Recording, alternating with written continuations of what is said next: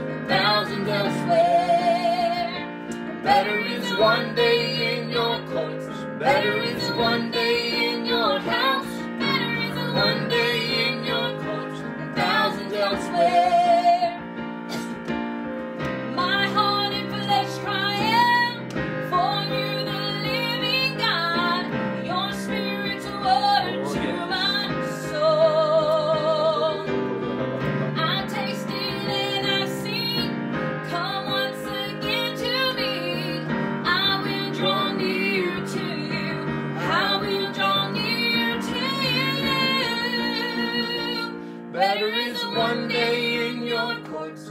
Better is one day in your house. better is One day in your courts than thousands elsewhere. Better is one day.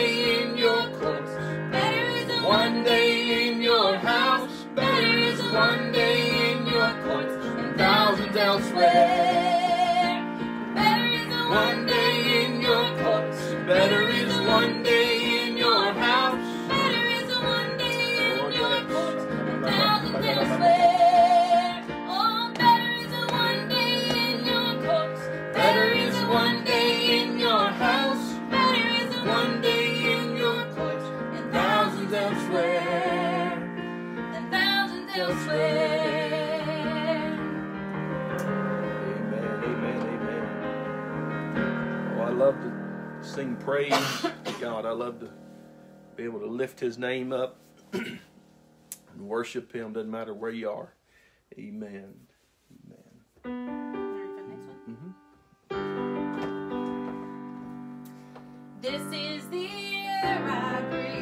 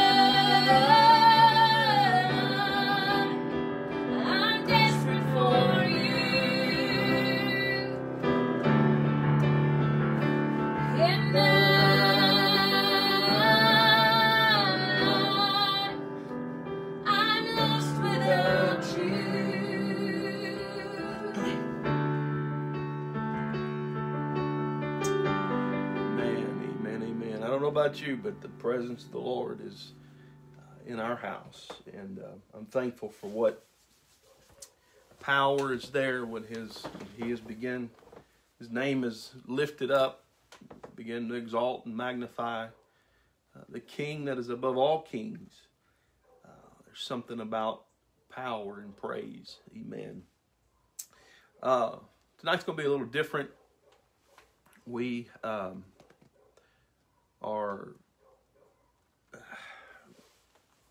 coming out of this quarantine, this social dis- distancing uh, fiasco or pandemic, whatever they want to call it. I don't know that they know what they're doing at times. Um, but, anyways, we're coming out of it and we are gearing up. I, that's what I have been feeling for past few days, um, gaining our momentum again, starting to uh, move forward, and of course the church will never be stopped.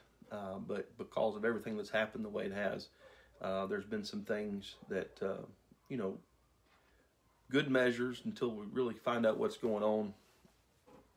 Uh, so, I wanted to share with you tonight what our plan is as a church, what we're going to uh, one thing that we're going to do.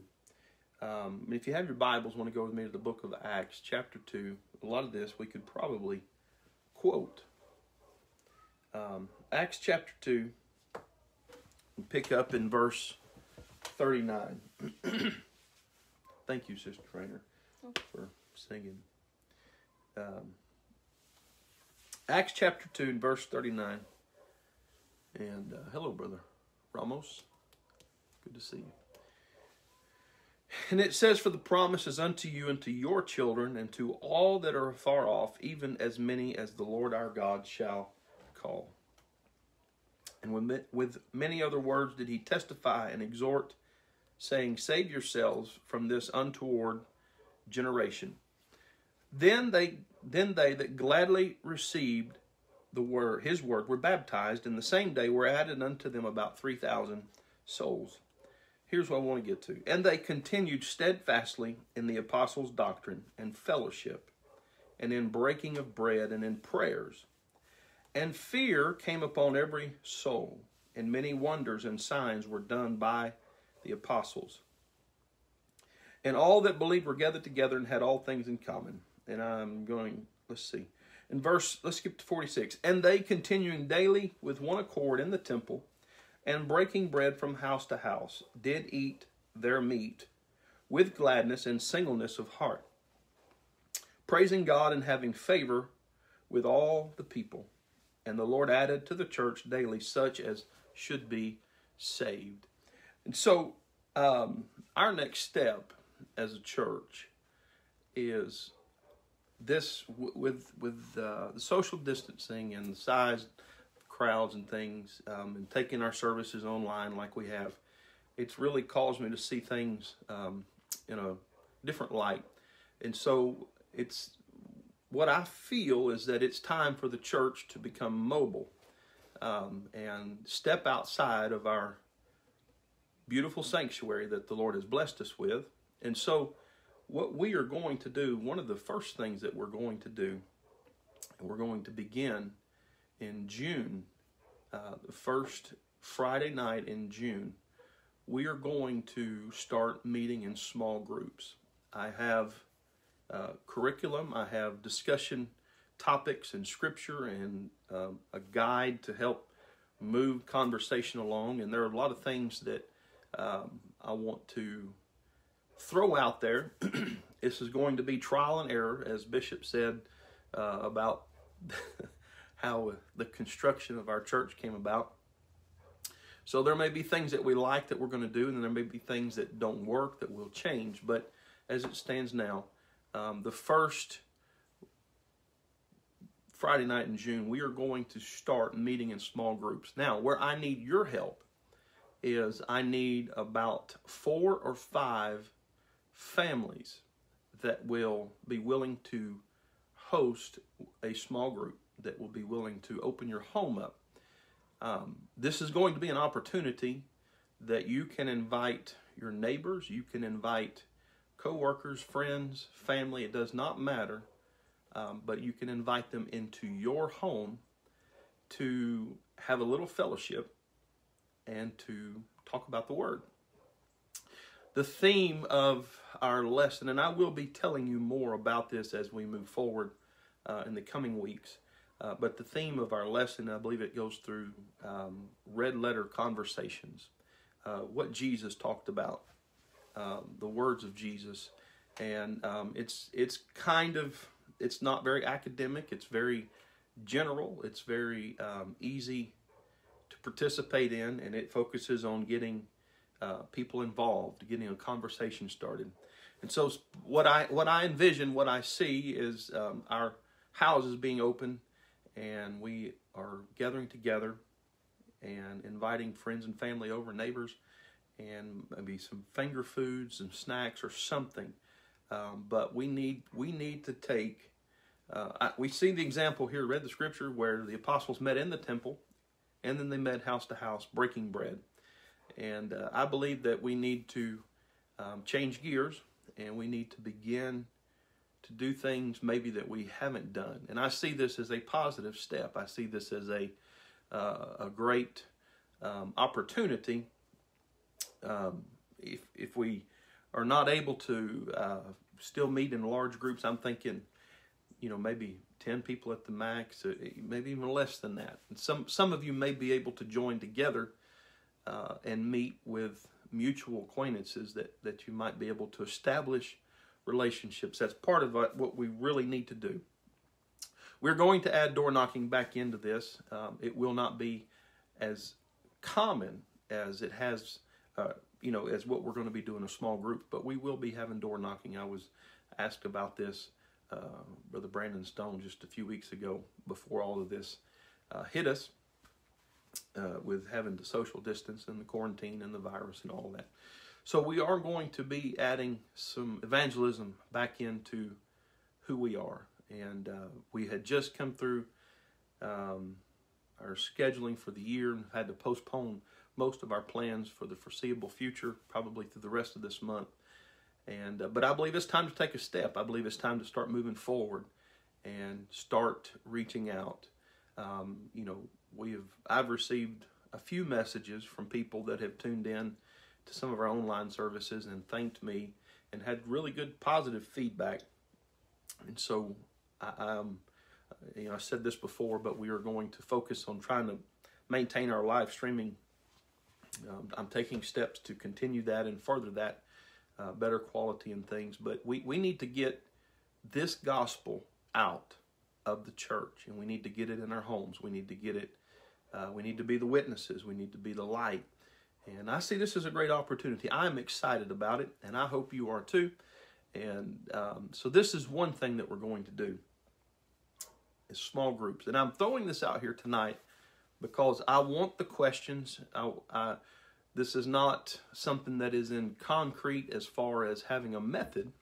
Um, I, I am throwing this out there because I want your feedback. I want to know what um, is working for you and what we maybe we can improve and make adjustments and, and, and make it more effective. But I do want you involved. I do want you a part of this. And so I'll be making more announcements as it comes. But starting in June, we are going to start meeting in our homes. My home is going to be open. Um, I've got neighbors, uh, not the Norrises. I've got neighbors that we're going to try to reach out and make some connection with and invite them into our home. And so um, I, I, hope. Not to say that yeah, not to say that the Norrises can't come, but it's. they don't come to church. I don't. I don't want to limit. This is not for a church fellowship. This is not for us to get together and fellowship. We have our times of fellowship uh, at church and then dinners and things of that nature.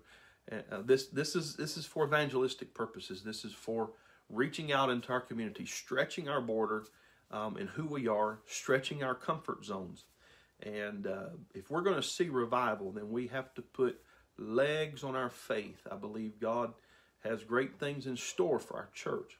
And so it's time to put some action to that vision. It's time to put some action.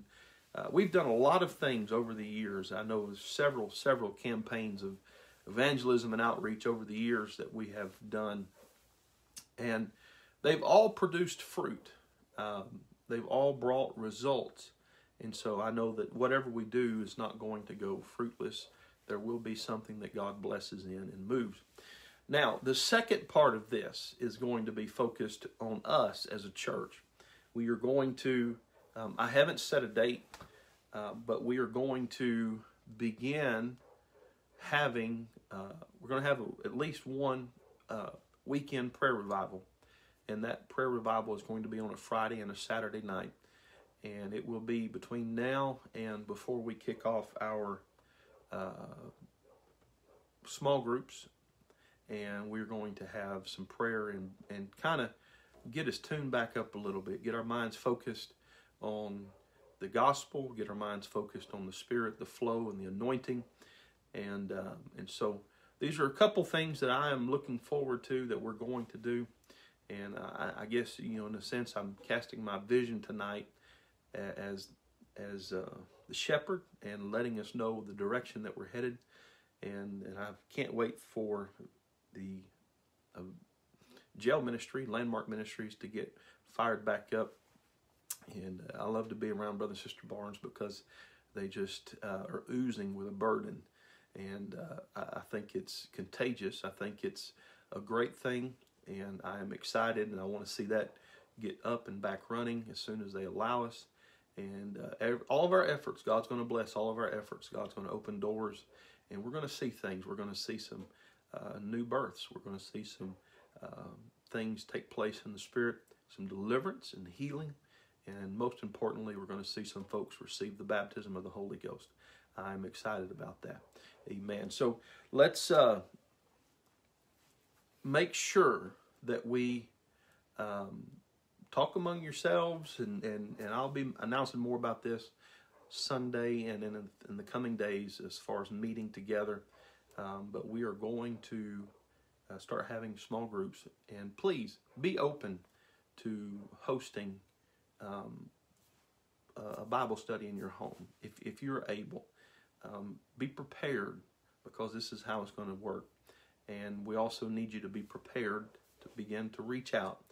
If um, I, I think if I believe that if we can take the connections that we have already established um, in our network in, in our world with people that we come in contact with every day and we felt you know we associate with if we can somehow extend that relationship and get it into our house then we can maybe deepen that and uh, get them to the house of God. But I, I, I nothing for me and I believe God can fill people with the Holy Ghost in this Bible study and uh, I believe God can deal with hearts and lives and uh, just you know, a few weeks ago when we baptized the young girl there at the church uh, during the day on a Friday, um, her her uh, family, you could see there was a genuine hunger in them. And uh, anyways, regardless of what we may be going through as a world, I believe God wants to send revival, and we're going to do what we can to make sure that is taking place in Scotts Hill. So, uh, just wanted to share that with you tonight. And then also, I'll be letting you know about our prayer revival that we'll have uh, here in the next couple weeks.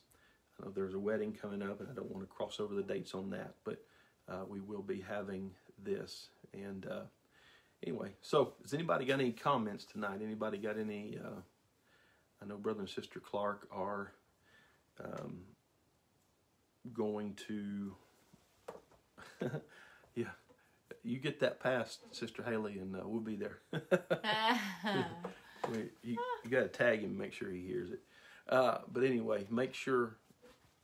He's probably reading the comments, or at least I would think he is. First small group, Bishop Stone's house, 9 p.m. so, anyway, um, anybody have any comments? Anybody have any? Uh, I told you it'd be kind of it'd be different tonight, but uh, I, am excited. I'm I'm ready to. Bishop Stone Sunday made a comment that, uh, you know, just what I've been feeling And uh, so, um, about making those connections and getting people in the house of the Lord. And so we're we are going to see great things. And uh, we got to make sure this church is active. We got to make sure that this church is um, not locked in its four walls, and that it is moving. It is a living, breathing organism, and uh, it's more than what I can do. If we're not just building this house, um, the Bible says they labor in vain that build the house, except the Lord build the house. But I'm going to be the hands. I want to be the feet. I want to be the mouthpiece. I want to be the vessel that God uses to bring revival to our community. My heart is hungry, and I want to be passionate, and I want to have a vision for these things. And um, and I think this world is ready. I believe that all this, all these things that are taking place in our world right now, uh, there are some things that we maybe can't see with our natural eye, but if we begin to look in the spiritual realm, we'll begin to see some things taking place. And so